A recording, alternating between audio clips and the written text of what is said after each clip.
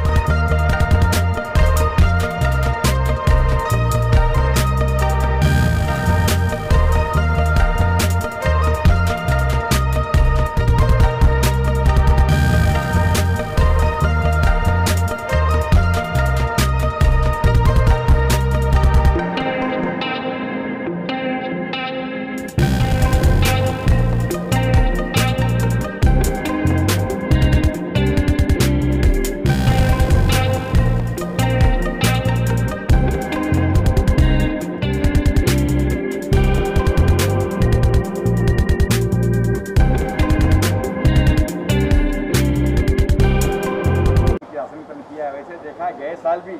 स्वास्थ्य मासिक हुआ था, इस बार भी हो रहा है क्या कहना चाहोगे नहीं, अभी तो बहुत कठिन समय चल रहा है यहाँ पे।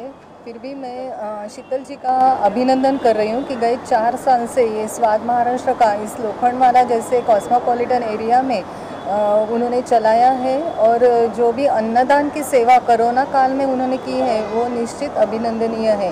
क्योंकि एक ये स्वाद महाराष्ट्र का ओपन करने के बाद एक कोई भी अपना बिज़नेस कैसे चले ऐसी ऐसी बात देखता है लेकिन इन्होंने बहुत ही सोशल अवेयरनेस खुद का है उनको। तो उन्होंने कोरोना काल में बहुत सारा अन्नदान किया है गए साल और अभी भी चालू है इनका ये।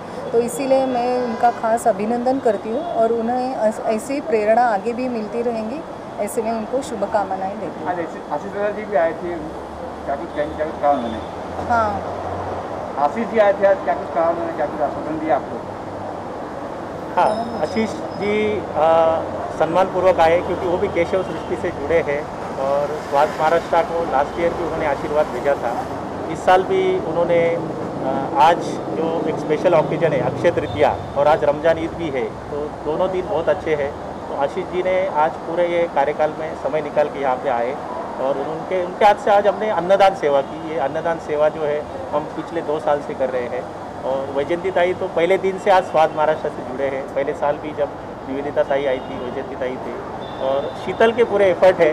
अ, हम लोग कोशिश करें कि उसको एक सपोर्ट करें। हमारे गिडवानी साहब है ये वर्सों एरिया के बहुत बड़े सोशल वर्कर है। ये भी पहले दिन से स्वाद महाराष्ट्र को सपोर्ट कर रहे हैं। और वो भी काफ़ी सेवा करते हैं, अन्नदान सेवा और अलग अलग सेवा में वो जुड़े हुए हैं। तो मैं उनको रिक्वेस्ट करूँगा कि वो भी आपकी शुभकामनाएँ दें। पहली बात तो ये है, आप सबका भी धन्यवाद कि आपने आकर के इस सब्जेक्ट को, इस उत्सव को एक मान्यता दी है और इसमें जो शीतल मैडम ने जो सपोर्ट किया है, जो काम किया है, रात दिन ऑनेस्टली एक हाउस वाइफ होकर के जो काम कर रही हैं, वो एक काबिल तारीफ़ है। जो साथ में दुआ जी देते, साथ देते हैं। मैं देख रहा हूँ, कई सालों से देखता हूँ। बींग प्रोफेशनल बिजनेसमैन ये आकर के वाइफ को साथ देना और उसको प्रमोट करना, उसको डेवलप करना, जो एक साधारण ट्रायल सेंटर में से शुरू किया था हम लोगों ने एग्जीबिशन में, वहाँ से आकर के इतना बड़ा सेटअप बन गया जो आज पाँच साल होने लगे हैं। कि एक अच्छा काम चल रहा है और सब जगह पर एक्नॉलेजमेंट एंड अप्रिसिएशन आई है मैडम को। और ये एक काबिल तारीफ़ है कि बच्चों को भी देखना, घर को भी देखना और बिज़नेस को भी संभालना as for that I wish everybody a very happy दृष्टि एज वेल एज ईद मुबारक जी जी जी आप क्या कहेंगे? प्रथम तर सर्वांना अक्षय तृतीयाच्या खूप खूप शुभेच्छा. आप सब आए और आप जिस तरह से डे वन से हमें सपोर्ट कर रहे हैं और आगे भी आपका सपोर्ट बना रहेगा यही इच्छा रखती हूँ. धन्यवाद. जी ये कैसे कल्पना आई कि एक होटल खोले उसके बाद ये अन्नदान करें? क्योंकि होटल तो बहुत है मुंबई में आज। खाना बांट है अन्नदान नहीं कर रहे हाँ। ये मैं यही बोलूँगा कि हम बचपन से ही स्वयंसेवक है, राष्ट्रीय स्वयंसेवक तो अन्नदान ये पहले से ही है। अभी जो समय है, बारह से साढ़े बारह बजे, मुझे अभी भी याद है हमारे पिताजी, दोपहर का समय रहे, कोई भी अपने घर से बाहर जा रहा है उसको हाथ पकड़ के घर पे लेके आए। और अन्नदान, जो भी रहे, उनको खाना खिलाते तो वो चीज़ें हमने बचपन से ही देखी है। और वही ब्लेसिंग्स है। मैं आज बोलूँगा, आज अक्षय तृतीया में वही है। पूर्वजों का भी आशीर्वाद लेना बहुत ज़रूरी होता है। तो वही प्रेरणा है हमारी। और यहाँ पे हम केशव सृष्टि से जुड़े हैं। वैजयंती ताई केशव सृष्टि में बहुत अच्छा काम कर रही है, उनकी टीम आपने शायद उत्तान में कभी जाके देखिए केशव सृष्टि का बहुत अच्छा चलता है प्रोग्राम अलग अलग के उपक्रम होते हैं। तो वो बड़ा वटवृक्ष बना हुआ है।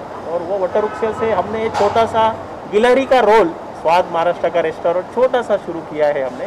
ये एरिया में महाराष्ट्रियन रेस्टोरेंट नहीं था। सांस्कृतिक जैसे महाराष्ट्रियन रहे हैं उत्तर प्रदेश रहे गुजरात रहे। कैसे शुरू हाँ तो शुरुआत हमने ये एरिया में नहीं था इसलिए शीतल जब यहाँ आई तो उसको मिसल पाव अच्छा खाने को नहीं मिला। तो उसको एक गुस्सा आया तो एक पॉजिटिव गुस्सा आप समझिए। हाँ। तो उसने पॉजिटिव गुस्से से यहाँ पे स्टॉल लगाया अलग अलग एरिया में। और काफ़ी सारे दिग्गज लोग स्टॉल पे आके गए। उनका फीडबैक मिलने के बाद एक हंड्रेड डेज़ का ट्रेनिंग उसका स्टॉल पे हुआ। और उसके बाद फिर हमने यहाँ पे अलग अलग लोगों के आशीर्वाद से और गाइडेंस से यहाँ पे छोटा सा आउटलेट प्रधानमंत्री मुद्रा योजना के तहत शुरू किया। और आज ये छोटा सा पौधा धीरे धीरे आज चौथे साल में पदार्पण कर रहा है। और अभी कोरोना का ताई ने बताया बहुत संकटमय समय है। अ, सब लोगों का हेल्थ और स्वास्थ्य बहुत ज़रूरी है। तो छोटा सा हमारा अन्नदान सेवा के द्वारा हम आशीर्वाद देने की कोशिश है और इस अन्नदान सेवा के लिए इसी साल राज्यपाल महोदय से केशव सृष्टि अवार्ड भी शीतल को मिला। वैजयंत ताई ने भी इस पूरे हमारे जर्नी में बहुत अहम भूमिका निभाई है तो मैं उनका बहुत बहुत धन्यवाद देता हूँ और आप सब लोगों का बहुत बहुत धन्यवाद। आखिरी सवाल मेरा रहेगा होटल में बेटियाँ दिख रही है दादा जी के साथ क्या क्या दिख रहे हैं? बेटी बेटियाँ दिख रही बेटी। हमारी बेबी हाँ अच्छा हमारी देखो प्रेरणा दो बेटियाँ हैं टू बी ऑनेस्ट बड़ी बेटी जो है वो शास्त्रज्ञ बन रही है डॉक्टर अब्दुल कलाम जी उसके प्रेरणादायक है तो वो उसी राह पे चल रही है शास्त्रज्ञ बन के देश सेवा करना है। और छोटी बेटी शास्त्रीय संगीत में अपना रियाज कर रही है शिक्षा ले रही है पंडित हरिप्रसाद चौरसिया गुरु माँ के मार्गदर्शन में। और अभी भी ऑनलाइन में बच्चे लोग कोशिश कर रहे हैं कि अपना रियाज बना रहे। और वही है कि हमें कल क्या होगा किसी को पता नहीं है। तो आज का दिन आप लोगों के साथ हमने एक हैप्पीनेस स्प्रेड करने का कोशिश है आखिरी मैसेज क्या देंगे लोगों को आम जनता को मैसेज तो मैं यही दूँगा कि आप सब लोग अपना ध्यान रखिए। कल हमारे नितिन गडकरी साहब ने बहुत अच्छा चीज़ बताया। सबसे पहले हम हमारा ध्यान रखिए। उसके बाद हमारे परिवार का रखिए। फिर आप सोसाइटी गाँव का और देश का ध्यान रखिए। वही आप लोगों को और सबको यही मैं बोलूँगा कि पहले अपना हेल्थ इम्पोर्टेंट है, बाकी सारा चीज़ आने वाले दिनों में हेल्थ अच्छा है तो बाकी सारा चीज़ ताई भी आप मैसेज देते हैं। नहीं, वही मैं कहना चाहूँगी, जैसे मैंने पहले भी बताया कि अभी हम लोग बहुत कठिन काल से गुजर रहे हैं। तो इसीलिए सबने अपना स्वास्थ्य रखना बहुत ज़रूरी है।